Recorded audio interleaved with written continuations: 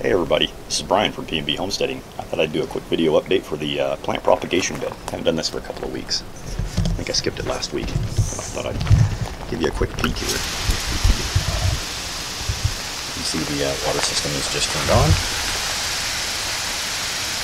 Wait until that finishes before I start sticking my hands in there to point at things. Okay, so we've got the Clonex, which was the uh, gel rooting hormone, used on these over here. You can see the variegated Weigela did pretty well. We've got quite a, quite a lot of survivors there. The, uh, the currant bushes, yeah, they were terrible. That was terrible on those. Did not hardly set any that actually survived. So I will not be using that on that type of bush again. Uh, over here we've got the, uh, that's the take root, dry rooting hormone. You can see both the variegated Weigela and the currants. We had a lot of survivors in there that actually propagated into new plants. We've got the Garden Safe rooting hormone. It's a dry rooting hormone. And that one was used for these variegated Weigela as well as these currant bushes. So we've got a lot of currant bushes that have been survivors.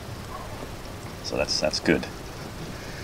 That proves that uh, I can propagate plants as well as create the next generation for plants in our yard, which, you know, that's a good thing. Saves money see our dogs.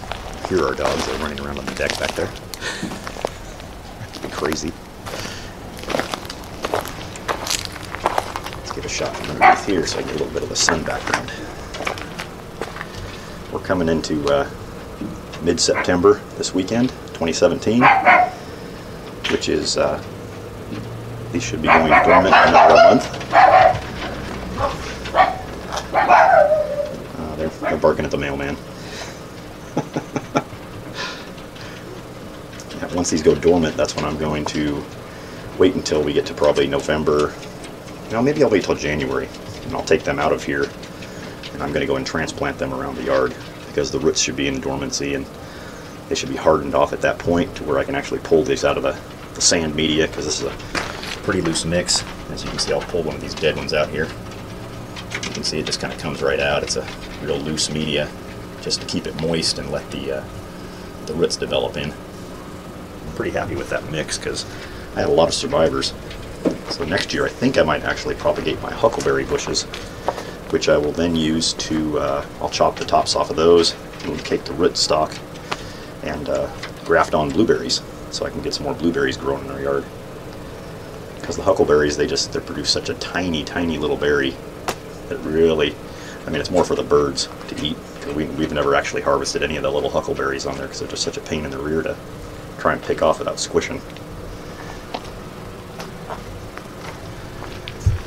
Alright, well, that's kind of the update for the uh, plant propagation bed. Alright, this has been Brian. I better stand out in the sun here. It's a little dark.